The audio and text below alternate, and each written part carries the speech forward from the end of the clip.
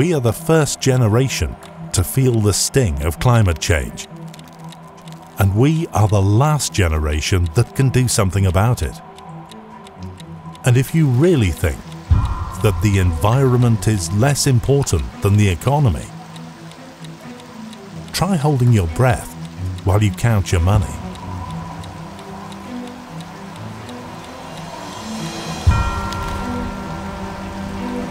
So I know what you're thinking. Not another video about climate change. You've all seen the pictures by now. Extreme weather, drought and wildfires. Unfortunately, we know from psychology that humans will never care about something until they lose it. Therefore, we set out on a three-week expedition to tell the story of what really happens in the Arctic and how glaciers are disappearing. The Arctic is one of the fastest warming places on the Earth, and the average temperature on Svalbard is up 5 degrees since 1961. 5 degrees is an enormous increase in warming. That's a big story.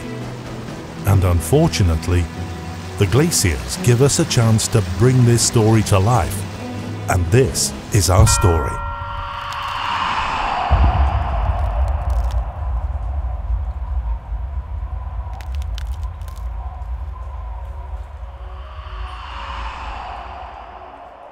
The team has been four core members. So we have Petter, Eric, Sindre, and myself.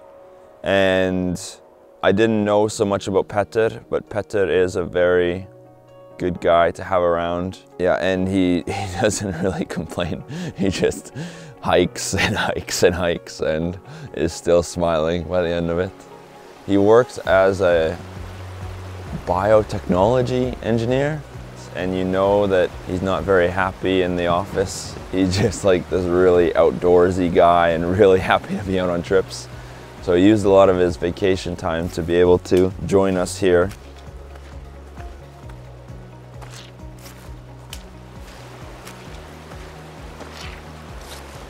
Then we have uh, Sindre, adventurer, um, a lot of uh, experience in the outdoor. Also superb work with the um, behind the scenes of this project, taking a lot of good pictures, a lot of uh, film clips. That looks really good.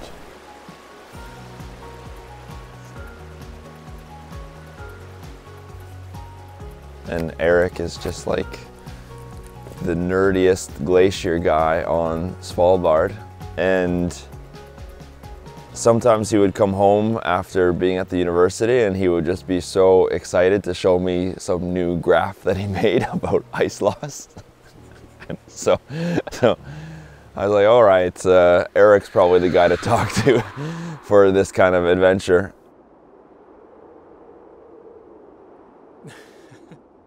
I got the idea to maybe take some old photos of glaciers and, and take new ones to show the ice loss.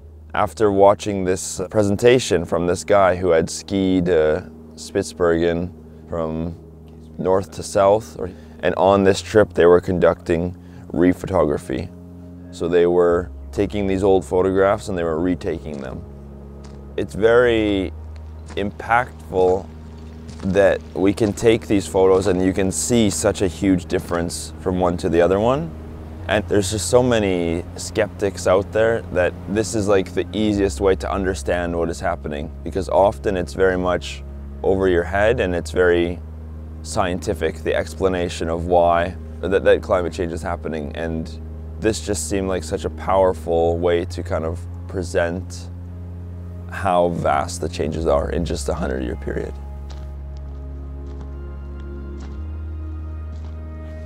So I swung this idea that maybe we could do something similar with uh, Eric Holmlund.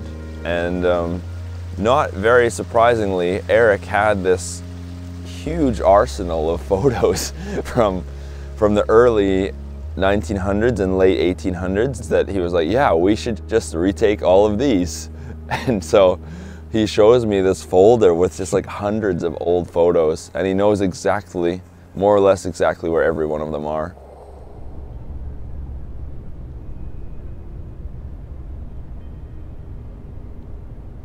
We have access to a, an amazing image archive based off of around 20,000 images.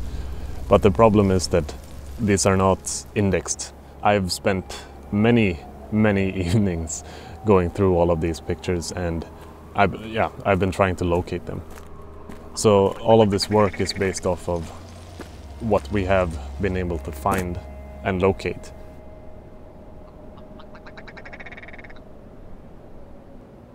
So we have been planning for about half a year to get out to all of our places. Logistics, like getting to the places, is not super easy here. Yeah, the, the road here is 30 kilometers, and that doesn't take you very long.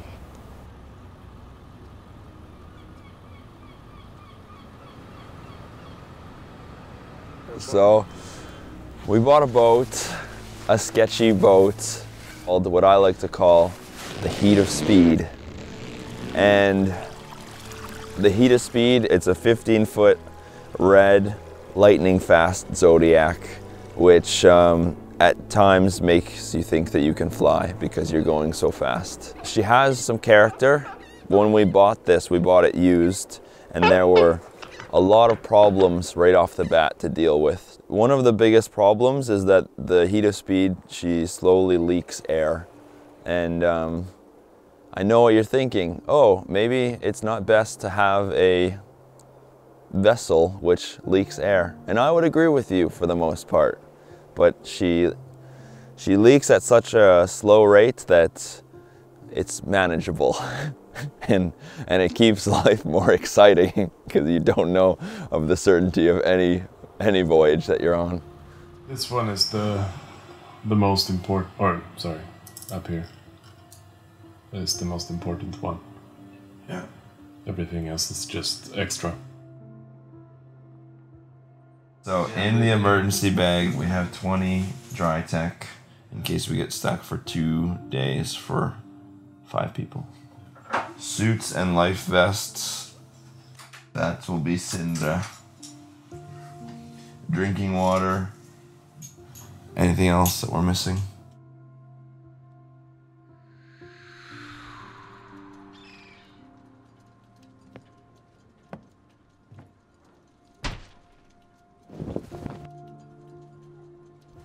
So the problem is that there's nothing stopping waves that are coming out from the Arctic Ocean to kind of get in.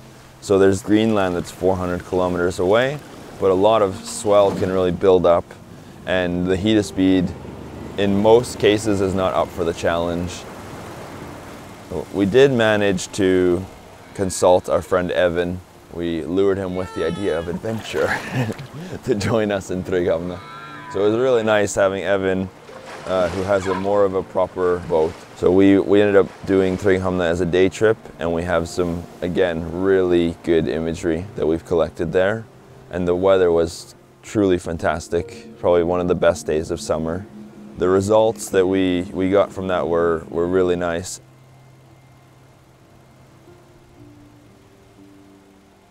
What do you want to start with? Priority one. Yeah. Priority one, yeah. That's Yeah, that's up that there. makes sense. Start with that one.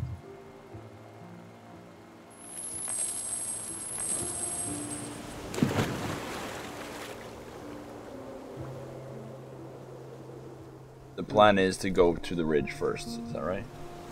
Uh, yes, but the first picture is not very uh, far from here actually. So if we just go up this way approximately.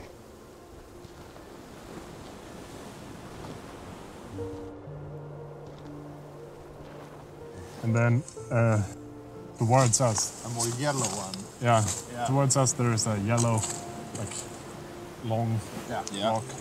And I have this one here, and it's matched up.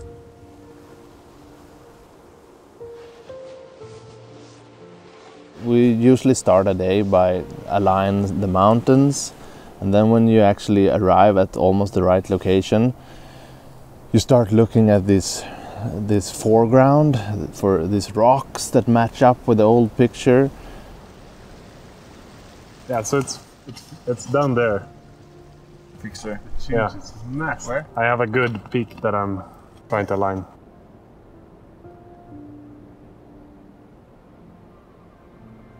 No, yeah.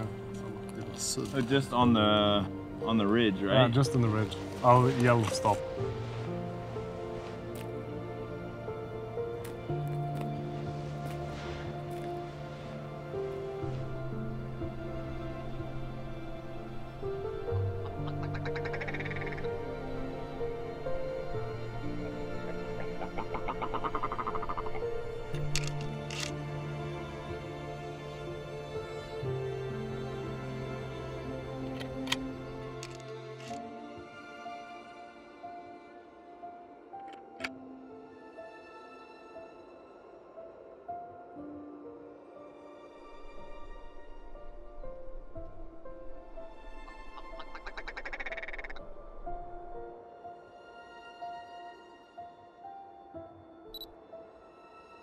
Yeah, it was a strong feeling that okay, now we're in the exact same spot as these guys were 100 years ago.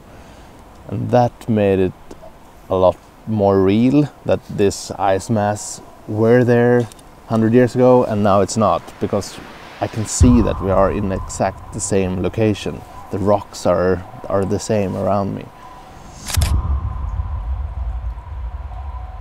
So that was a strong connection with it. When we go to these places, we can really visualize how these glaciers are changing through our pictures. But we also have to base this on something. We have to collect data.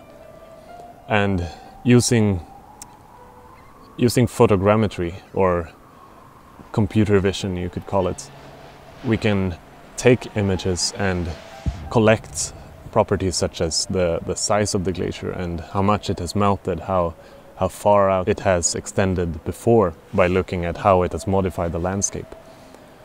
So we have tried to, in addition to our images, also collect as much data as we can to give a stronger argument for our cause.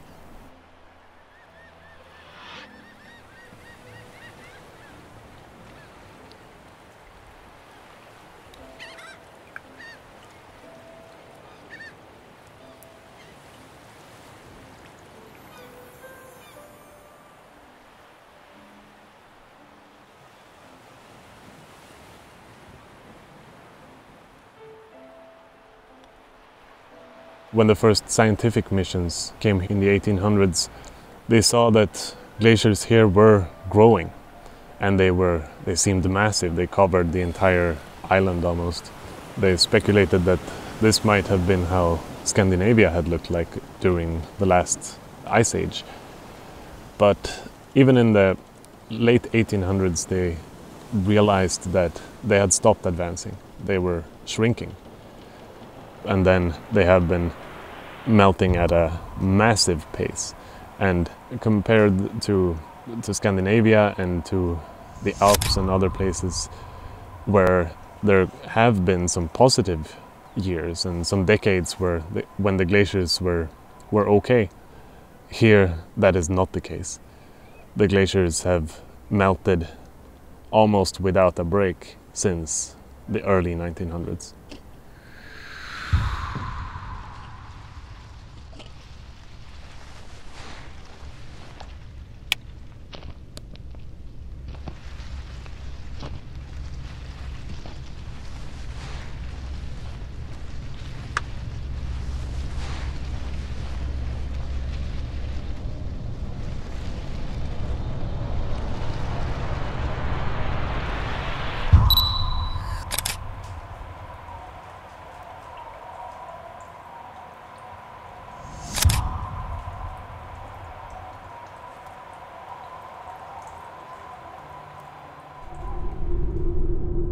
I'm worried about what we're seeing here. Um, when you look at the pictures from 100 years ago and now, you're realizing that is this process continuing? Um, there will be no glaciers left in quite a near future.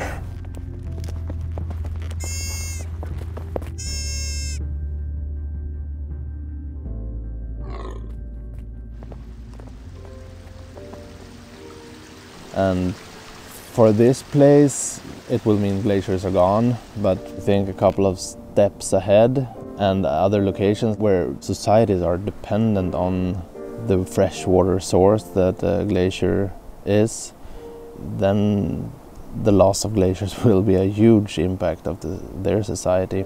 And ice masses like Greenland and Antarctica, if they are melting in the same way, the whole world is gonna feel it.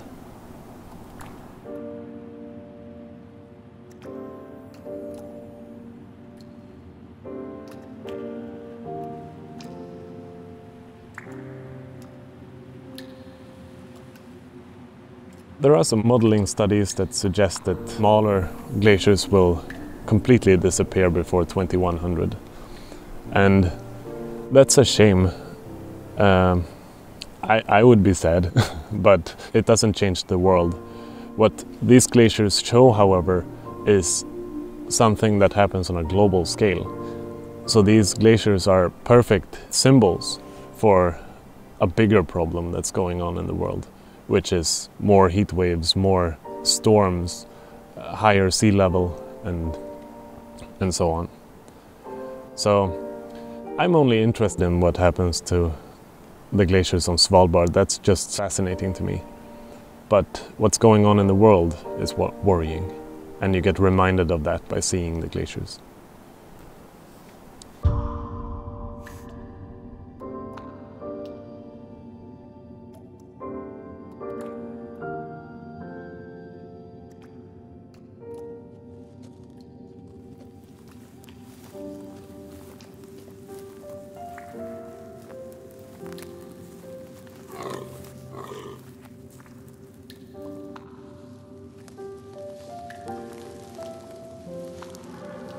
It's definitely concerning. Um, and I kind of make my livelihood in the Arctic with working as a guide because people want to see these beautiful glaciers. And when you see such big kind of calving events and you just like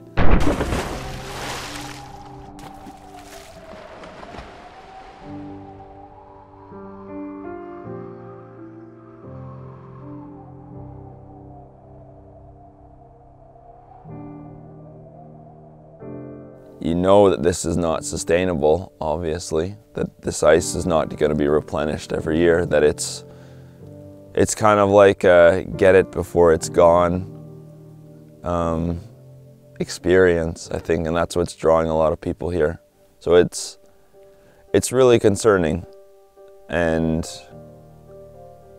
I don't know if it is reversible at this point.